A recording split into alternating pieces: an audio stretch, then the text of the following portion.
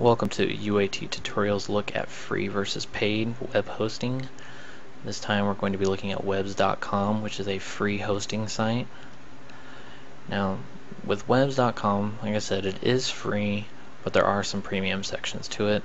Uh, mainly just takes away any type of ads, gives you a little bit more email security and email functions, a little bit more storage space for any of your applications or videos, anything you upload directly to the site. Now, as I said though, if you do premium, you do lose the ads because that is how the site runs. So you will get a couple ads on your page. Now, compared to other sites, it's not as much of a nuisance. You'll actually get two ads. You'll get one near the top, which will be your standard ad, and then near the bottom, you're going to get one that'll be right around here that'll actually just say webs.com and have a couple links for other people to go to. So it's really not that much of a burden. If you go to the Learn More section here, it'll pretty much give you a quick overview of all the features on here. A lot of stuff we're actually going to cover in this walkthrough. So don't need to worry about it right now.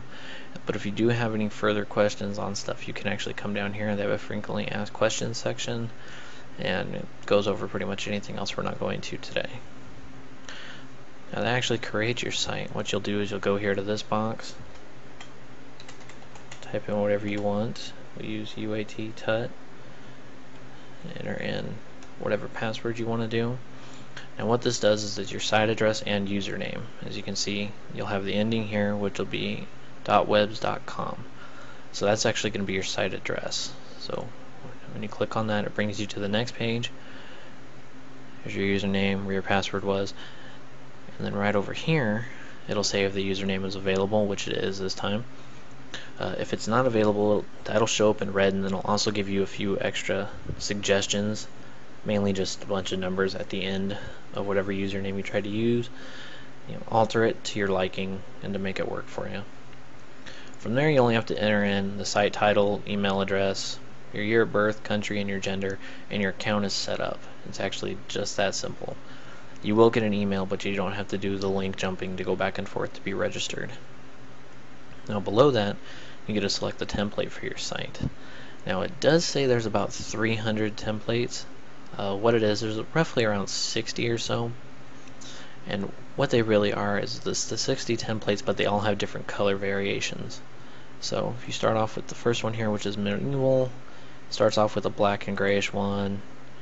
And as you can see, if you click over, you get you know four more variations. Works the same way with others. With this one, get a color change to some of your borders. So some of them are simple, some of them are, you know, decent changes to the actual color scheme of the website, but that's how you really get the 300. There are a few premium ones. Um, it tacks on about another 25, 30. Uh, but one of the big features of this actually is that you can create a blank one and if you have any experience using HTML or CSS you can actually just go ahead and design your whole entire website and that does fall into the free section. So don't have to pay for that at all. So if you're ever looking for just a new site to be able to build stuff with it actually works out pretty well. So once you have your template set up just go down here and you agree to the TOS and click on create my site and what it'll do is it'll bring you to the site we're going to next. because I'm going to use a pre-existing account. And it brings you here. Now, this will be your jumping point to any type of editing you're going to do to your site. And what you'll see first, you'll see up here, there's like a there's a view my site button. Click on that, it'll give you a quick preview of your site. Might not have all the functions, but it just gives you a quick look at it. Now, the actual content itself is all right here. What you do is you can either add a new page, blog, photos, videos, calendar, forums, or a web store. If you click new page, it'll open up a new one down here and you'll title it and it'll pretty much just create that page. As you see, you have about me, projects, photo gallery, video gallery, and a couple others. Pretty much you can just toss in any of those and edit them around. You can even change the order by clicking on the reorder pages. You'll just drag them around, put them whatever order you want them in.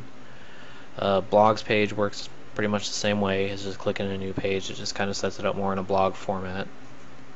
Now, with the photos and videos, we'll get into those more in just a little bit. A couple cool features on them though. Uh, you can add a calendar, put in events, stuff for people to keep up to date with on anything you're doing or anytime you've done an update. Uh, forums falls into the members section. You can do a members only section of the site where people have to sign in in order to view the content, so you can almost do your own premium section. Um, also, they can leave comments about any of the stuff you posted up there. Uh, you can also do a web store, basically just a small business site. They do support PayPal and Google's checkout. So, with the premium content, you do get a little bit more features with that, but even with the free stuff, you can actually get a nice little business site going. Now, what we're going to do from here is just show you real quick how to kind of edit these. So, click on the one for About Me, and it brings up the site builder, and you'll go to your home page. Which for me, this is this one. As you'll see, start off up at the top, you'll get your toolbar. This right here is a drop-down window for any of the sites you're going to have in your navigation bar. Some page options on what you can do with each of them. Create a new page just like you could on the on the previous page. And then underneath it you're going to get your content box which is any section you're going to put stuff into. Some of the stuff you can add to the content box. And then right here is your main text bars. Um, pretty much if you've used MS Word this is going to be pretty standard stuff. You know font size different style fonts bold underline text color just the standard and then also up here in the upper right is another template section. Now what that does is that's where you'll go in if you want to change your template. You can change the template to the site anytime you want. You can also go into the blank one if you want to go ahead and just rewrite it all or if you found a way to do it. Now the sidebar section here covers this bar right here. Now that is optional. You can turn that on or off since pretty much everything here will be linked to in your navigation bar but this just gives it easier access and people can also see what you've done lately without having to jump all around your site. Now basically we'll get into how you add stuff here. What you'll do is this is going to be one of the content boxes. We'll get rid of that real quick. We'll start a brand new one. So you'll go up here to content box, click on it, you'll see it adds it right back. It already puts in all of the borders and design that comes with the template, background, and everything. Now to confirm if you want it there, you'll click on this green checkbox or the red one over here and it'll delete it. Now the fun part about this section is you, know, you can put it in your title, name it, whatever you want, change the color and everything, but the actual content box itself allows for a lot of functionality. As you can see it says add text, images, video, widgets, and etc. Now what it means by that is if you actually go into the content box and you go back up here, click on photo, any images you've already added to the site you can access. You can upload more from your computer. If you've got some from a website you want to use, you can just put in the URL or one of the really cool features is you can actually use PhotoBucket. You can search through the database or you can log in with your own username and password and it'll bring up your account and all the photos you've uploaded to PhotoBucket and you can pull them directly from there onto your website. Now the other one is for videos. Videos pretty much works the same way. Upload your video, flash, sound, and that's where you would actually upload it from.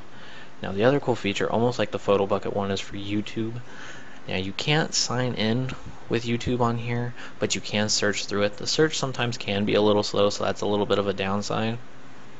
But you know, so you can you still can search for it, or you can just go ahead and open up another tab or window, just find it, you know, copy that wonderful URL or embedded code, and you can just toss it back in, and it'll update any type of videos for you. Go ahead, and real quick, we'll go ahead and put a link on there too that works the same way. Link to another page or whatever. You can change the the link text so it'll look a little different. You can also change the color of it.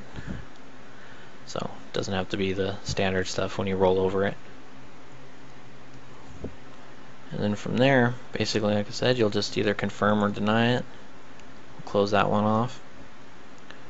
And if you want to see what it looks like you'll go up here click on preview and it brings up kind of a skeleton version of the site. You just get a quick look at how it's really going to go. Close out of that and it brings you back to everything you're working on. Now the key one is if you'll hit publish, you'll see it'll update it, publish it, pretty much brings you back to the same thing, but now everything's been saved. You can just go up here, exit out. Now if you click on view my site from here, it'll bring up the full page. So everything you've added to it, it brings it up. Everything is fully functional.